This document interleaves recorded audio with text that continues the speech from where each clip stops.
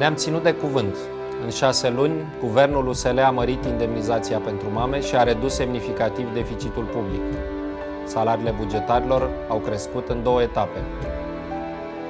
Subvențiile pentru fermieri au crescut cu peste 30%.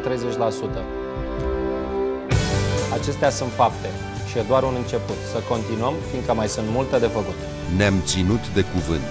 Votați USL pentru România puternică.